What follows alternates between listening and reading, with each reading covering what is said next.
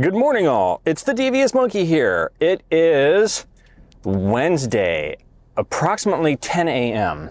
I am going to the closer three ships to get us breakfast because she wants one of their Becky sandwiches, which is bacon, egg, and cheese on one of their, uh, it's not a muffin, biscuit.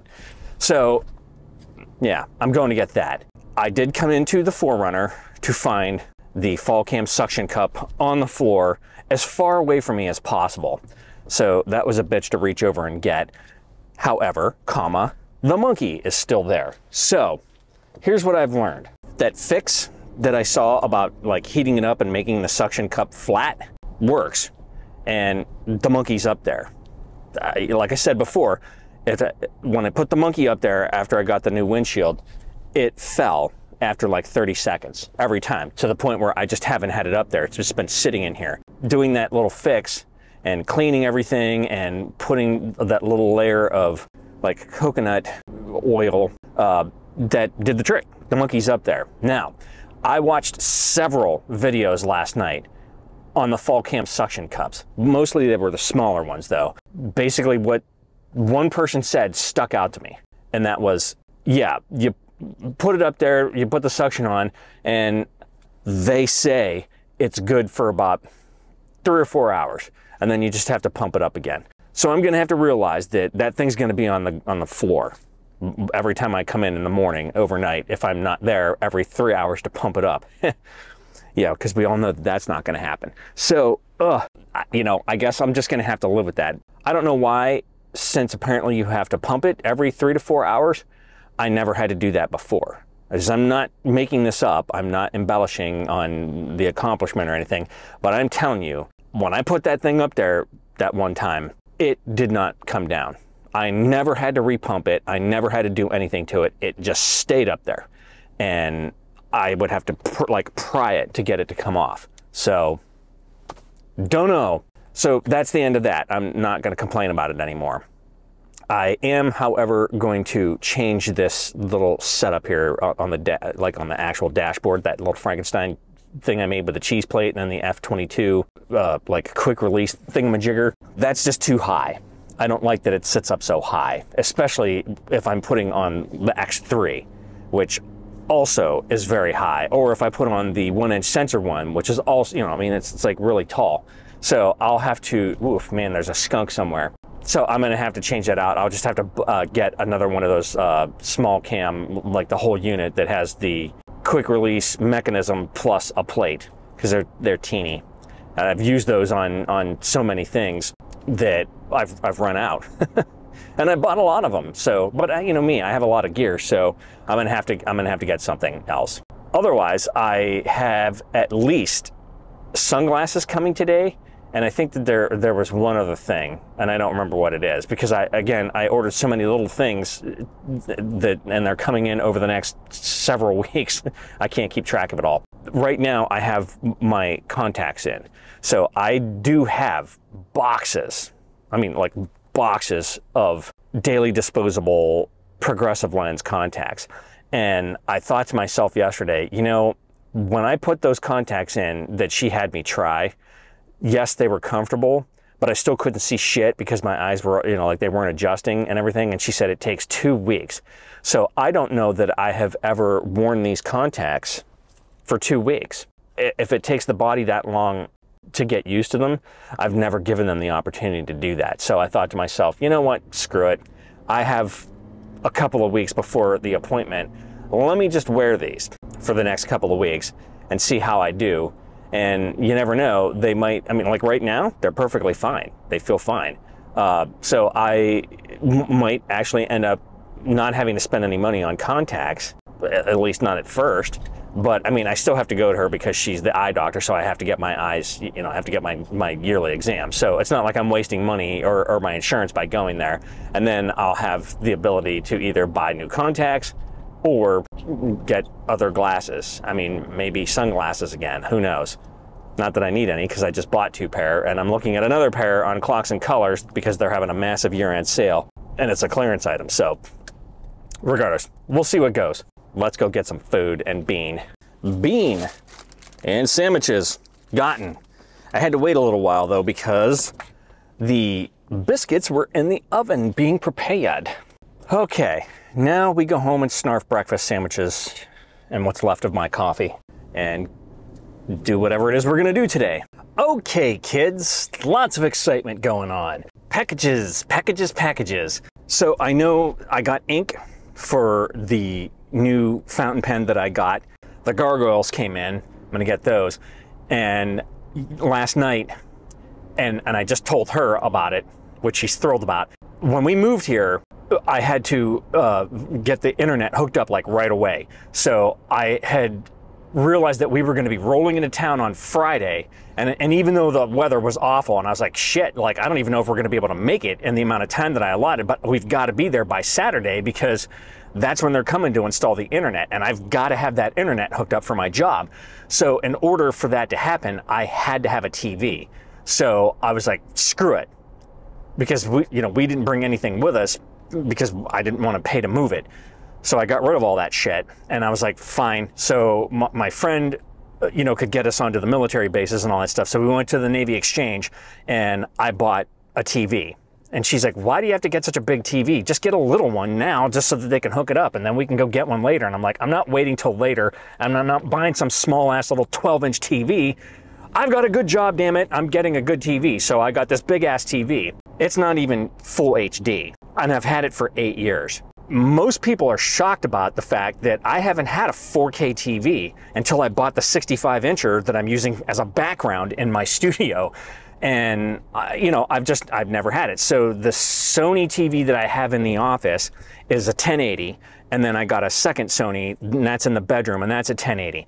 Now the one in the bedroom, I, like I removed the cable box from because I'm like, I don't need to have cable in there because all I do is watch anime, and I can use the Roku for that. So I'm watching cartoons in there.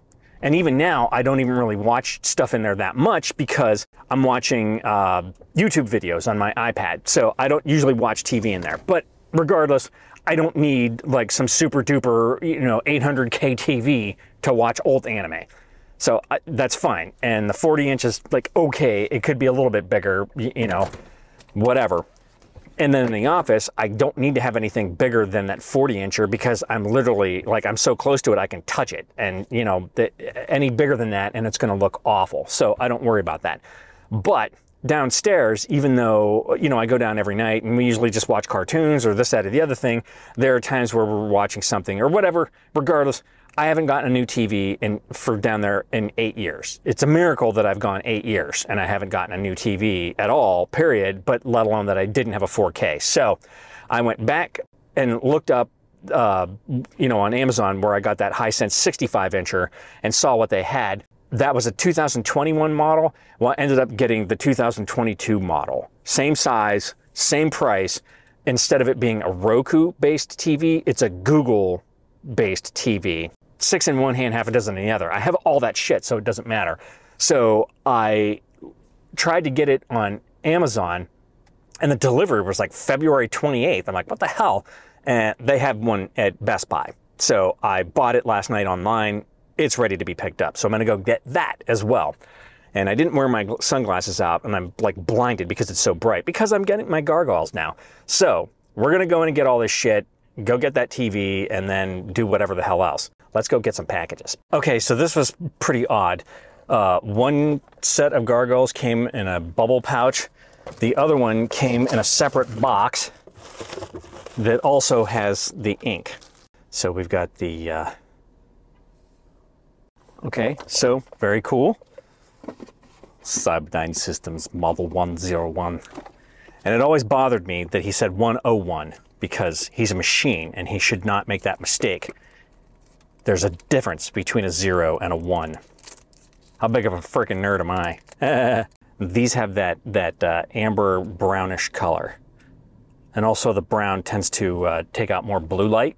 So these got a bit of a mirror to them as well. That's kind of odd. Wasn't expecting that. So you can see how big these are. Could you imagine what the normal ones are like? Because the normal ones are even bigger. Like they would be huge on me. Okay, that's it. Gargoyles, gotten. Blood red ink, gotten. Time to go get a TV. All right, kids, another project down. Here you can see I got the new Hisense 50 inch 4K TV installed. Also, that's the new Apple 4K. So that's all good to go. And most importantly is I managed to get the Verizon remote to sync to the TV so that I can use this to turn the TV on and off and control the volume. So I don't necessarily have to have all these remotes out there. Now, to take this older Sharp TV, which is a couple inches smaller than the TV that I just hung, because that's the Hisense 50 inch, and this was a Sharp 48 inch. And for some reason I thought it was 43 inches, but I measured it the other day, uh, you know, the diagonal length is 48. I'm gonna install it on the wall here. So that way, I'll, once I get all this crap out of here, and these are all decoration stuff, Christmas decoration, we'll put that away. I will find a place for all this shit to get the hell out of the way. And then this will once again be what I intended it to be, which was a workout area. So now I can have the TV hanging up on the wall so that I can, I don't know, put some kind of exercisey shit up there, or even just videos, or I can just come down here and watch TV if I feel like it for some unknown reason. So that's it. That will take care of that. Then tomorrow, when she's at work, I'm gonna have to go through and I'm gonna have to fix all of these. Well, not fix them, I'm gonna have to rip them off and put them all back up with, you know, the door and window sensor. Mission accomplished today. Gargoyles and a TV. Look, kids. Yes, we're blind. Driving blind into the sun. Brutal. Anywho. That's a lot. oh my God. Maniacal screams. Yeah, it's always like brutal this time of day. Okay, blindness aside, we are going hunting. Fabric hunting. Nerd. Yeah. So where are we going? Michael's? Okay. Wasn't sure if I was going to do that or Joann's or both. Try Michael's first, it's closer. Okay. Anyways, yeah, we're going to go get fabric so she can do whatever the hell that stuff is she does. And uh, I don't know what I'm doing. I'm just coming along for the ride. All right, let's go shop for fabric. Okay, kids, that was a fun day.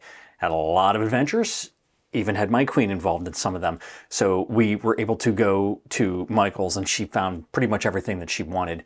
We are actually thinking that maybe Friday we might take an extended trip to IKEA.